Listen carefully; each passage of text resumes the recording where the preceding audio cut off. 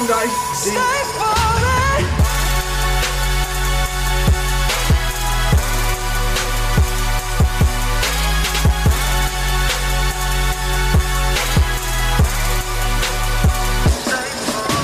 What's going on, my friends? Welcome to episode number two of the Game Game. I am currently getting ready for the gym, and um, today a package came in.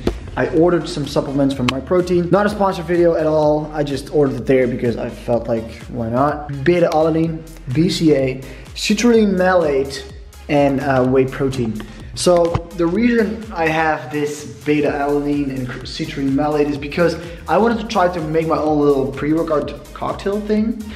So we're gonna try that today since we're doing deadlifts and I feel like when deadlifting you can use a pre-workout, you know? Um, now I use just G Fuel which is not really a pre-workout, it's more of a focus drink so I never had the jitters or never had a really the good pump because of it because the, the stuff in there is not it's not it's like not enough. So let's just make this. Also I know I need to wash this bat, it's disgustingly dirty.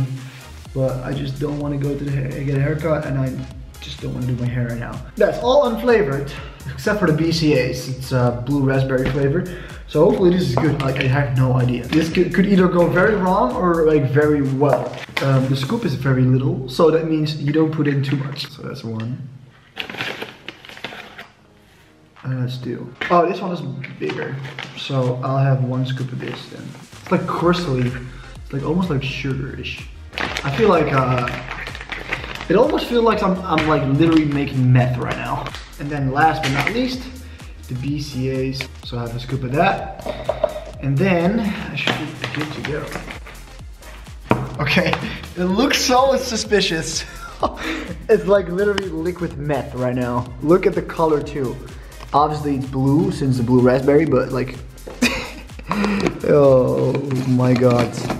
If this goes wrong, May I die in peace. Okay, am I drinking this now? Okay, fuck it. We're just gonna do it. I'm like literally trying this out right now.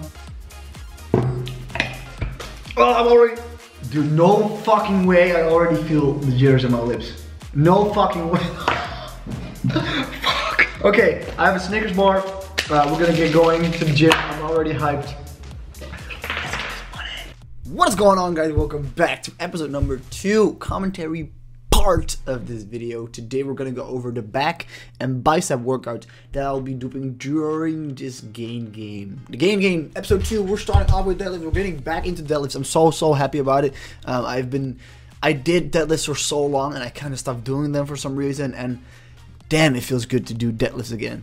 Um, deadlifts, three warm up sets, seven working sets um, three times five, four times ten. Again, the same thing as with bench press, um, and pretty much also the same thing with, with squats. I will go over that in the next video. But today we're gonna focus on the deadlift. Um, very clean form always. So I did 110 kilos for three times five and four times ten with 70 kilos, I think.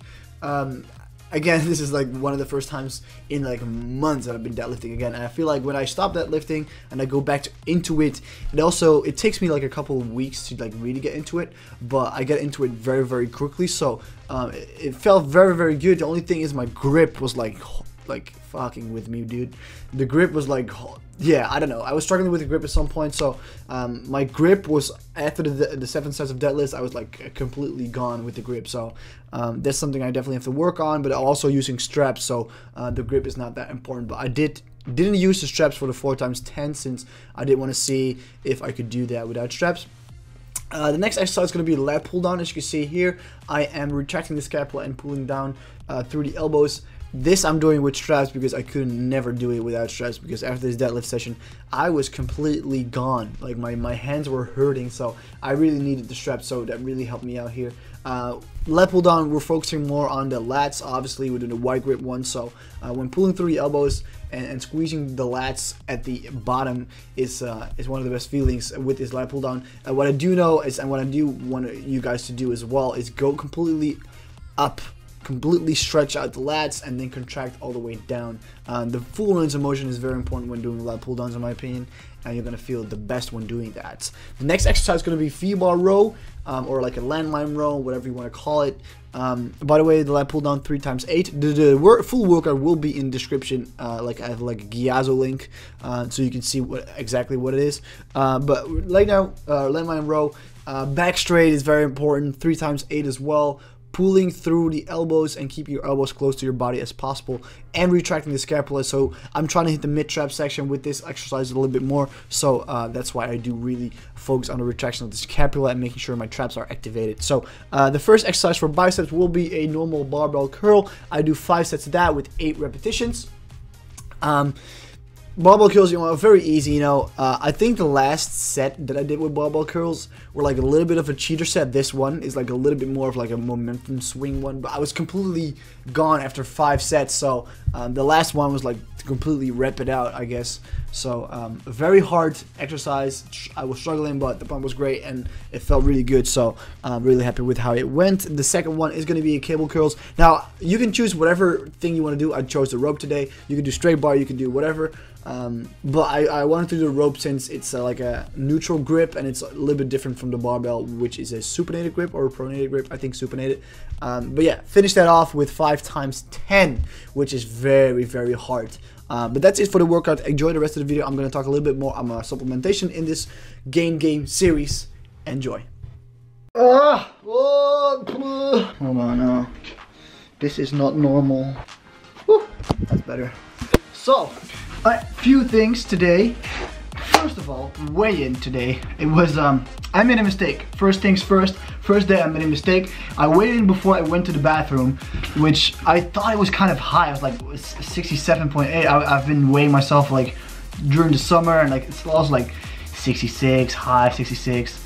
So I was like, huh, I don't know what the hell. So 70, 67, I was like, okay, sure. Then uh, today I weighed in, I was like 66.7. I was like, did I really just lose 1.1 kilos in one day? Which is like madness. But obviously I did go after I go went to the bathroom. So second of all, how did I think the pre-workout, the workout was amazing. I have, I had such a tough workout. The workout schedule that I made for myself is so, so tough. And I really love it because I love pushing myself in the gym. And um, it's just, it's amazing. Honestly, it's like, the beta, beta alanine citrulline malate, I like kind of randomly did two, two of one scoops. Um, but it felt amazing. I felt the jitters, not too much though, so that's good. And um, I felt like I had good energy, but I'm now I'm like completely drained. So I do want to eat my skyr now, um, some some proteins after the workout. And um, after that, I'm just gonna freshen up a little bit. I think I'm gonna hit shower and then we're gonna go over supplementation for my bulk. It's not gonna take a very long time to talk about supplementation because it's not that complicated and I don't use that much stuff. But I wanted to go over a few things that are essential and a few things that could help you, um, you know, with your goals. So uh, let's eat this and then I'll check in with you guys in a couple minutes. Let's go over the supplements.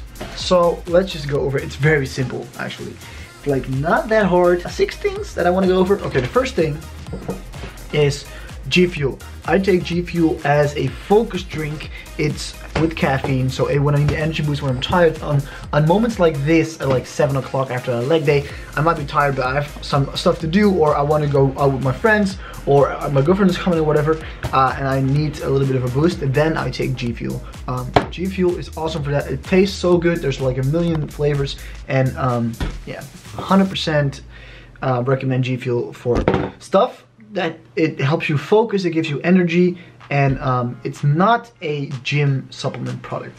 They do have a 24K pre-workout, which I've used for uh, for a very long time, but I'm currently out of it. That's one's empty as well. So, which has a little bit more of the stuff that's in here in that as well. But I wanted to try out to blend and mix my own uh, pre-workout because I just wanted to try it out. Um, since the G Fuel one doesn't have enough of the these products to like really really get me going you know there's caffeine in there there's beta alanine there's citrulline malate and there are amino acids in there as well but um, not in the right serving in my opinion so so the cocktail blend that I make with my pre-workout is quite easy it's citrulline malate it's beta alanine and BCA. so branch chain amino acids.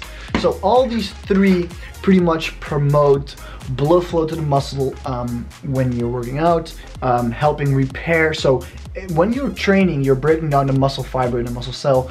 Um, these products help you rebuild that in a quicker sense. So um, in between sets, you might have need one to two minutes before um, you think, hey, I'm, I'm good to go. Um, taking this, it can help you recover faster in between those. It can also help you um, push out those last reps. So if you're struggling on 10, 11, this will might help you to get to 12 or 13, you know? Um, this BCA is flavored and the other ones are unflavored, so I add the BCA um, because that's flavored because I don't want to just drink a random non-flavored drink. So this is blue raspberry flavor, which I recommend, it's really good.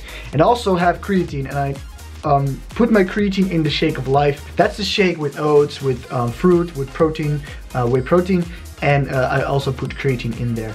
Um, so yeah, the last thing is a whey protein. Doesn't really matter for what brand you take it. Just do some research online and you'll find a good brand. Uh, usually uh, stuff like my protein, like the bigger ones are usually the better ones since they're big for a reason, I feel like. Yeah, so do some research. I have a whey isolate um, protein. It's uh, 21 grams of protein per scoop, so uh, very easy and very nice. I mean, for my goal right now is to grow and whatever, you don't need supplements at all. You don't need supplements at all.